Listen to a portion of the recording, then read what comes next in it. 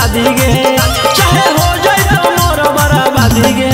छोड़ी इज़्ज़त गिरैनी गे। बदनाम करैनी तो गे। अबरी नहीं परनी तो धारा 376